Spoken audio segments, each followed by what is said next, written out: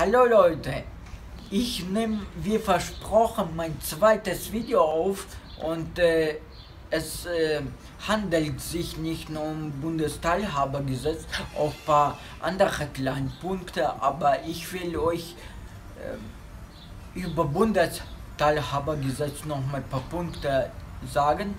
Und zwar ähm, wie ihr wisst am 01.01.2017 ist ihr Gesetz rausgekommen. Das heißt, das, Bundes, das Bundesteilhabergesetz für Menschen mit Behinderung. Aber ich äh, wende nicht das Wort äh, für Menschen mit Behinderung, sondern Menschen mit Beeinträchtigung, weil Menschen mit Behinderung hört sich so negativ an. Und zwar äh, benutze ich das Wort Menschen mit Beeinträchtigung.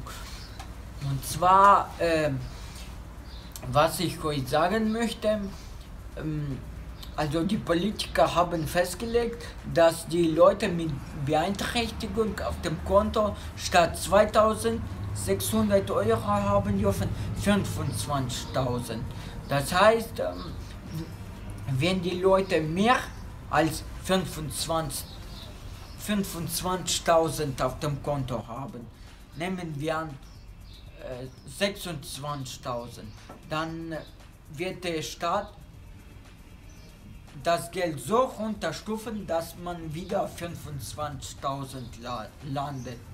Ähm, und ab Jahren 2020 ist vorgeschrieben, dass die Politiker machen möchten für die Leute mit Beeinträchtigung 50.000 wenn die das überschreiten, die 50.000, dann zieht der Staat wieder das Geld ab, bis man auf 50.000 Euro auf dem Konto wieder hat. Und jeder Mensch hat natürlich äh, auf einen persönlichen Ex Assistenz oder Betreuer, meinetwegen. Beispielsweise manche Leute mit Beeinträchtigung brauchen ja nicht 24 Stunden Assistenz, sondern für zwei, drei Stunden in der Woche oder bisschen mehr und nicht 24 Stunden lang. Aber es kommt auf die äh, Beeinträchtigung natürlich.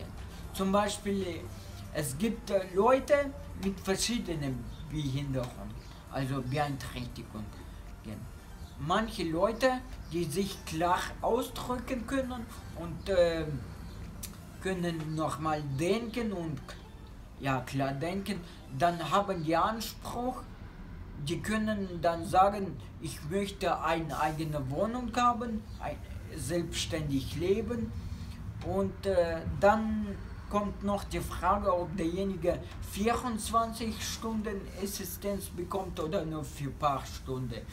Und es gibt Leute zum Beispiel mit einer geistigen Behinderung, die nicht klar denken können. Halt die Leute, die im Wohnheim wohnen, ähm, die, äh, die werden leider Gottes natürlich nicht selber entscheiden können. Für die, die haben einen bestimmten Formel, für diejenigen entscheiden können aber ich glaube, das wird schwierig sein. Die Leute, die fitteren Leute, die in der Werkstatt arbeiten, die dürfen in Zukunft entscheiden, ob die in der Werkstatt weiterarbeiten möchten oder auf dem freien Wirtschaftsmarkt arbeiten. Ich weiß zwar nicht, aber ob die bei irgendeiner Firma angenommen werden oder nicht, weil heutzutage ist das so, die Firmen, die, die bezahlen lieber Strafe, als ein Mensch mit Beeinträchtigung einzustellen, weil äh, ich weiß nicht, was in den Leuten ihren Köpfen vorgeht. Ähm, die bezahlen lieber dafür eine Strafe, als ein Mensch mit Beeinträchtigung einzustellen. Und äh, wie das in Zukunft aussieht, kann ich euch dann in ein, einem weiteren Video sagen, weil ich, ich habe den ähm, neuen Gesetz halt noch nicht ausstudiert oder durchstudiert.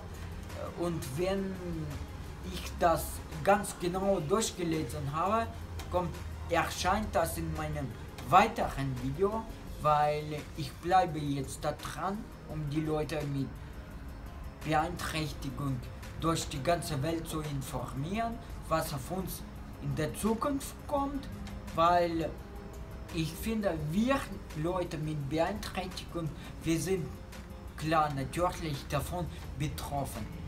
Es wird zwar gesagt, es gibt zwar manche Leute, die haben eine Beeinträchtigung und äh, die, äh, die lachen zwar natürlich über das Gesetz und sagen, oh mir ist das im Prinzip egal, wenn das Gesetz kommt, dann kommt das.